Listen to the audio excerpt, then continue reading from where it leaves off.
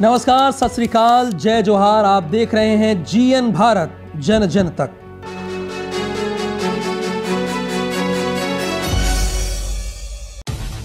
Hazaribagh police को मिली बड़ी सफलता। 150 किलोग्राम गांजा किया गया जब्त। बाज़ार मूल्य तकरीबन 75 लाख। चार लोगों को किया गया गिरफ़्तार।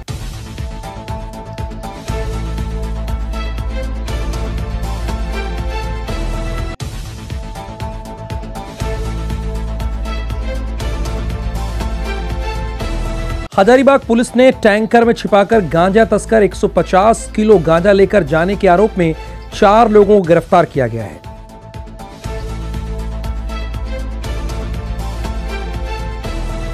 इसमें धर्म सिंह, राहुल तिवारी, सतीश कुमार और मोहम्मद राजा शामिल हैं। सभी आरोपी टैंकर में गांजा ले जाने के लिए विशेष व्यवस्था कर रखा था। वहीं पर पूरे गांजा को छिपाया गया था। पुलिस को सूचना मिली थी कि एक टैंकर में पंजाब का नंबर है, जिसमें गांजा तस्कर गांजा लेकर जा रहे हैं। पुलिस ने वाहन चेकिंग अभियान लगाया और गांजा बरामद कर लिया। हजारीबाग पुलिस का कहना है कि गांजा तस्करों के खिलाफ ये बड़ी सफलता है। झारखंड और बिहार के रास्ते से गांजा लगातार पंजाब और हरियाणा जा रहा है। पुलिस को कई गांजा तस्करों का नाम पता चला है।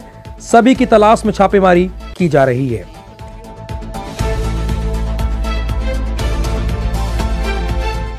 गांजा पूरा उड़ीसा से आ रहा है। उड़ीसा का गांजा कई राज्यों में पहुँच रहा है।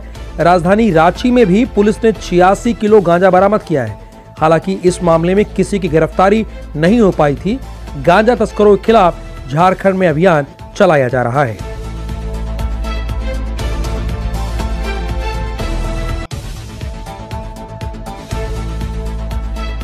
अपने राज्य से जुड़ी हर ताज़ा खबरों के लिए आप हमें सब्सक्राइब करें साथ ही बेल आइकन बटन दबाना ना भूलें।